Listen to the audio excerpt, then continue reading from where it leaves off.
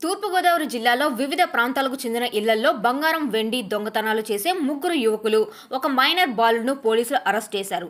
ఈ సందర్భంగా కొత్తపేట పోలీస్ స్టేషన్లో ఏర్పాటు చేసిన మీడియా సమావేశంలో అమలాపురం డీఎస్పీ మాధవరెడ్డి కేసుకు సంబంధించిన వివరాలు వెల్లడించారు. గత నెల పద్దెనిమిదవ తేదీన కొత్తపేట మండలం వానపల్లి గ్రామంలో ఒక ఇంట్లో అరవై మూడు పాయింట్ ఎనిమిది గ్రాముల బంగారం వెండి దొంగతనం జరిగినట్లు ఫిర్యాదు రావడం జరిగిందని అదే రోజు అంబాజీపేట పోలీస్ స్టేషన్ పరిధిలో దొంగతనం జరగడంతో దీనిపై Ravulapalem CI Krishna. Crime party Kothapeta SI Srinivas Nayak తన సిబ్బందితో పూర్తి స్థాయిలో విచారణ చేపట్టారు. వారికి అందిన సమాచారం మేరకు నిందితుల్ని అరెస్ట్ చేసి సుమారు పదమూడు లక్షల రూపాయలు విలువ చేసే రెండు వందల నలభై ఎనిమిది గ్రాముల బంగారు ఆభరణాలు ఇరవై ఎనిమిది తులాల వెండి వస్తువులు ఒక సెల్ ఫోన్ను స్వాధీనం చేసుకున్నారు. నిందితులు నలుగురిని రిమాండ్ పంపినట్లు డీఎస్పీ తెలిపారు. ఇతని మీద సుమారు ఫార్టీ టూ కేసెస్ వరకు ఉన్నాయి.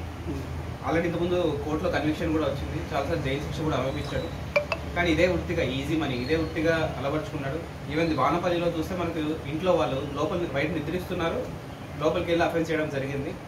సో అందరికీ ప్రజలందరికీ కూడా ఈ ప్రెస్ మీట్ ద్వారా మరొకసారి చెప్పేది మీ వస్తువులు జాగ్రత్తగా పెట్టుకోండి. ఎక్కడికైనా ఊరు వెళ్ళే ఊరు వెళ్ళేటట్టయితే కంపల్సరీ పోలీస్ స్టేషన్ ఇన్ఫార్మ్ చేయండి. మనకి లాక్డ్ హౌస్ మానిటరింగ్ సిస్టమ్ ఉంటుంది దాన్ని ఉపయోగించుకోండి. దీంట్లో మొత్తం వీళ్ళు కన్ఫెస్ అంటే నిన్న అరెస్ట్ చేయడంతో మాకు కన్ఫెస్ అయిన ఏడు కేసుల్లో కన్ఫెస్ అవ్వడం జరిగిందండి. కొత్తపేట పిఎస్ అంబాజీపేట గండేపల్లి ఇంద్రపాలెం ఇంద్రపాలెంలో రెండు కేసులు కాకినాడ వన్ టౌన్ ధవళేశ్వరం రాజమండ్రిలో.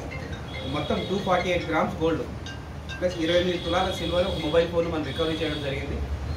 ఇట్స్ గుడ్ వర్క్ అండి ఎందుకంటే హెచ్బీ పైన ఎయిట్ అఫెండర్ అందులో చాలా మేజర్ అఫెండర్ ఇతను ఈవెన్ ఇంకా మనకి మైనర్గా ఉన్నట్టు చాలా కేసులు ఇన్వాల్వ్ అవ్వడం జరిగింది.